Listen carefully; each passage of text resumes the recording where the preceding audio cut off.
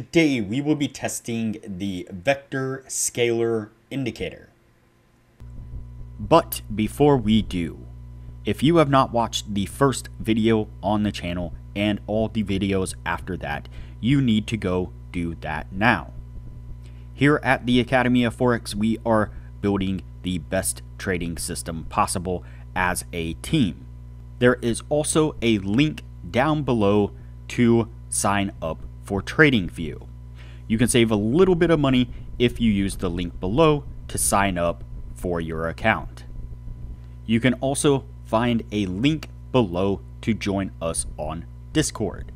Lastly, if you would like a list of all the indicators we have tested along with their win rates, but you aren't interested in watching all the videos on the channel, you can sign up for our $9 Patreon and you will receive the complete list of indicators.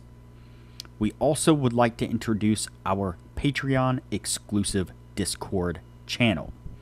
As a $9 Patreon, you will be invited to join an exclusive Discord channel where we will give you a list of winning indicators and links for the MT platform, give you winning strategies, post trade ideas, give advanced advice, and much more.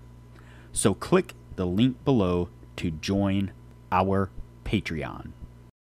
All right, as I said today, we will be testing the vector scaler indicator. Before we do though, I wanted to put the testing scoreboard up for everyone to see. So to date, we have tested a total of 63 different strategies, with 16 of them being profitable We've also tested a total of 813 indicators with 330 of them being winners. The best ones so far were able to achieve a 100% win rate. Now you need to go back and watch those videos to understand the context of how they were able to achieve that. So go back and watch those videos and see what you can get out of those winning indicators. We've also retested in the advanced testing 24 of the winning indicators. Eight of them have been able to maintain the winning status, the best one a 76% win rate. Uh, keep in mind that we test most of these strategies and indicators on the Forex and crypto market, but they can be applied to just about any market and time frame universally. All right, so today's indicator is the vector scaler indicator and you can see it here on the bottom of the screen. And so it looks very similar to the stochastic uh, indicator and the stochastic indicator was kind of the inspiration uh, behind this particular indicator. And so it is not the stochastic, even though it does look very similar to it. Uh, basically, it has some other uh, calculations that uh, create the oscillating lines and, and such how they are. Now I did go in and I did make a, slot, a slight modification to this. Uh, I changed the uh, level here. Uh, no, sorry. Uh, changed the level here. Uh, this was the upper band level. I changed that to 100. The lower band level here, I changed to 0. And the reason why I did that is because uh, what we are looking for uh, essentially is going to be, or at least one part of it, is going to be the cross of these two lines. So as the blue line crosses down below the orange line, uh, that's going to be a signal to go short. As the blue line crosses up above the uh, orange line, that's going to be a signal to go long. Another uh, aspect of it, or another uh, kind of component to it, is that the uh, at least the blue line has to uh, have been in this upper zone here, kind of in an overbought type zone, or down below this lower band in a um, kind of oversold type position. And so that really gives us kind of the extreme so that way we can look for a reversal point. Uh, now the problem is, is that uh, just like the uh, stochastic indicator, what we will often get is we will get moments where the lines max out to the upside or the downside, and they just kind of stay pinned there for a while as price continues to move in a specific direction.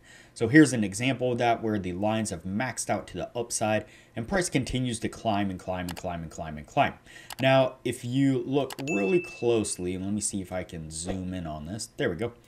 If we look really closely, you can see that quite a few times here, we actually have crosses of these lines. And so the blue line crosses down below that orange line multiple times in here. But if we scroll it back here to where uh, you can actually see the whole indicator, you see that you really can't tell those lines are crossing. And so uh, those just are um, kind of slight anomalies as the indicator is maxed out here and is just kind of twitching its way through these slight pullbacks. So we needed some ability to kind of designate when there was an actual cross and good move taking place with this indicator. And so what I've done is I've moved those upper bands and lower bands kind of to a pretty far extreme point. And what we're going to do is the oscillating lines need to be maxed out above or below the upper band or lower band and they need to cross and then the blue line needs to cross either the upper band to the downside or the lower band to the upside back into this middle zone. And so for example we get a push to the top side here we get a cross and right here we get the uh, blue line that crosses back into the center zone. That would then be our signal to go short. Uh, and then the, the reverse side on the long side. So it maxes out down here. Blue line crosses above the orange line and the blue line crosses back into the center zone. All right. That was a lot to explain. Took a really long time to get through all that. I apologize. So let's go ahead and get on with the testing so that way this video doesn't get too long. All right, so we get our first push to the downside here and we get our cross of the blue line up above the orange line. And you can see that we actually get right here, that blue line actually crosses back up above that lower band there.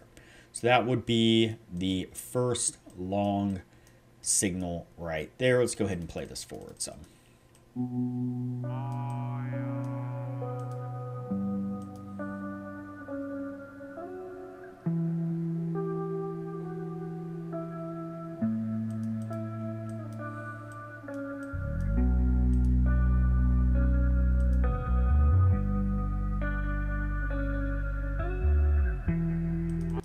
right, so we get a pretty heavy pullback right here.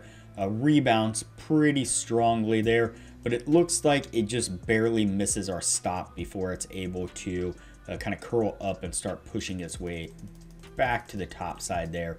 We make another push down here, uh, kind of retesting this area, and then we get the push to the upside that we're looking for. Now let's see if we got a cross here in the meantime. It looks like we might have which would have actually stopped us out. Yes.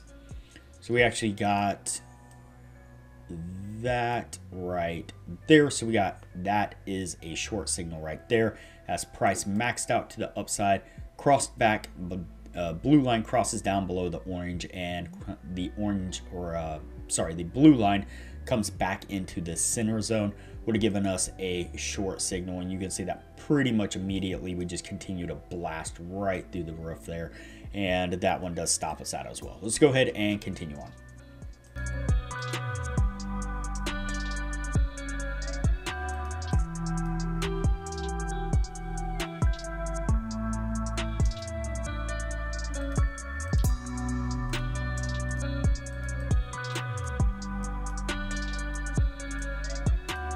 All right, we pick up another short right here, and unfortunately, pretty much immediately we get a really heavy push to the upside there, which does come up and stop us out again on this one. All right, so what I'm gonna do now is go ahead and fast forward through the rest of the testing. That way things don't get too long, and we'll pick this up when we're at the end of the year.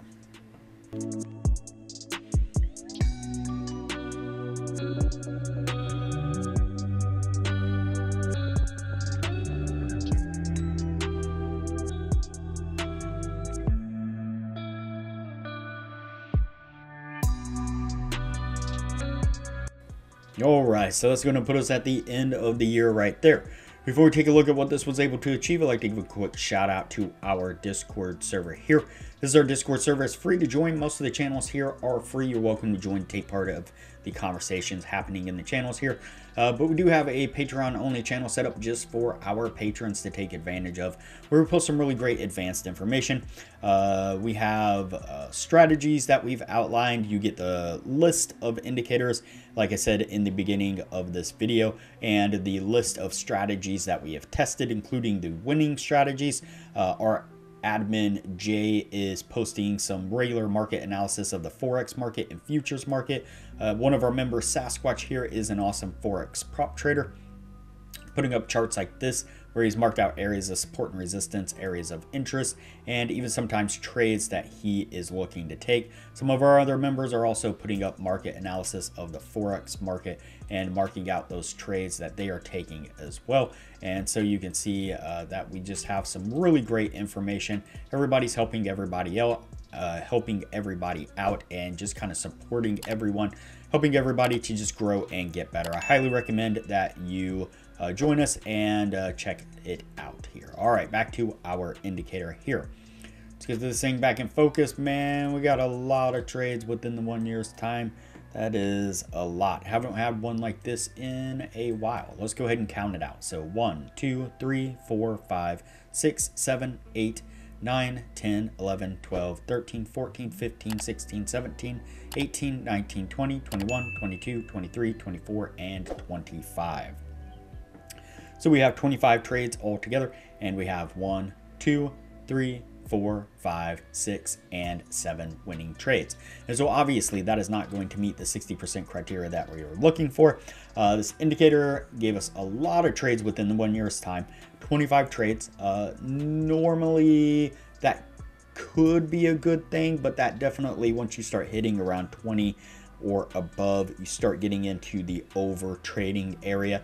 And once we get into the over trading area, what we generally find is that there are indicators that are just way too quick and they're picking up on just every little slight movement in the market and trying to throw a signal uh, for a, a, trend directional change or reversal that just isn't actually happening. And so just every little small correction, every little small pullback, it's throwing a, a signal that that is a trend di direction change or a reversal in the market.